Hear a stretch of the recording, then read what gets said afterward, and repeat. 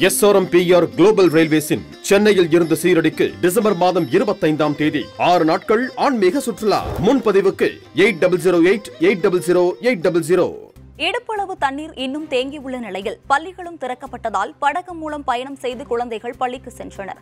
திருவள்ளூர் மாவட்டம் நசரத்பேட்டை யமுனா நகரில் எட்டு நாட்களாகியும் இன்னும் மழைநீர் வடியாமல் பொதுமக்கள் பெரும் அவதிக்கு உள்ளாகி வருகின்றனர். குடியிருப்புகளை சுற்றிலும் இடுப்பளவு தண்ணீர் தேங்கியிருப்பதால் பொதுமக்கள் வீட்டை விட்டு வெளியே வர முடியாமல் தவித்து வரும் நிலையில் இன்று பள்ளிகளும் திறக்கப்பட்டதால் மாணவர்கள் அவதியடைந்தனர். வீட்டுக்குள் தண்ணீர் புகுந்ததால் பாதிக்கப்பட்ட மக்கள் மாடியில் தஞ்சமடைந்த நிலையில் ஏணி மூலம் கீழே இறங்கி படகில் பயணம் செய்து குழந்தைகள் பள்ளிக்கு சென்று வருகின்றனர். மேலும் செம்பரம்பாக்கம் ஏரி அருகே இருப்பதால் இந்த பகுதியில் தண்ணீர் ஊற்று போல் வருவதாக புகார் தெரிவித்துள்ள அப்பகுதி மக்கள். அரசு முறையான வடிகால்வாய் அமைத்து தர வேண்டும் என கோரிக்கை விடுத்துள்ளனர்.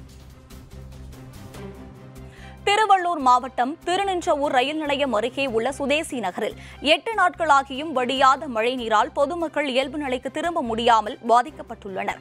தேவையான அத்தியாவசிய பொருட்களை தாங்களே தயார் செய்து படகில் சென்று வாங்கி வந்து தங்களது தேவைகளை நிறைவேற்றிக் கொள்கின்றனர்.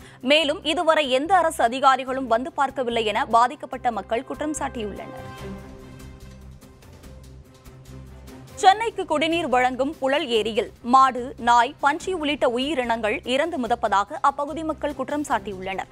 ஆவடி அடுத்த திருமுல்லைவாயில் வெங்கடாச்சலம் நகர் பகுதியில் தொடர்ந்து புழல் ஏரியின் கரையோரமாக குப்பைகள் கொட்டப்படுவதாகவும் இறந்த உயிரினங்கள் மற்றும் கோழி இறைச்சி கழிவுகளை ஏரிக்குள் வீசுவதால் குடிநீர் மாசுபடுவதாகவும் புகார் கூறியுள்ள ஏரி பாதுகாப்பு இயக்கத்தினர்.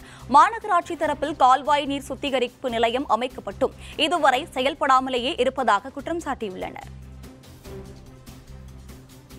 சென்னை போரூர் அருகில் ஆலப்பாக்கம் ஏகாம்பரம் பகுதியில் உள்ள பல தொழிற்சாலைகளில் மழைநீர் சூழ்ந்துள்ளதால் ஆயிரத்து ஐநூறுக்கும் மேற்பட்ட தொழிலாளர்களுக்கு வேலை இழப்பு ஏற்பட்டுள்ளதாக தொழிலாளர்கள் வேதனை தெரிவித்துள்ளனர். ஒன்பது நாட்களுக்கு மேலாக மின் இணைப்பு வழங்கப்படாததால் தொழிற்சாலைகளை இயக்க முடியாமல் பல லட்சம் ரூபாய் இழப்பு ஏற்பட்டுள்ளதாக கவலை தெரிவித்துள்ள உரிமையாளர்கள் மழைநீரை வெளியேற்றி மின் இணைப்பு வழங்க நடவடிக்கை எடுக்க வேண்டும் என அரசுக்கு கோரிக்கை விடுத்துள்ளனர்.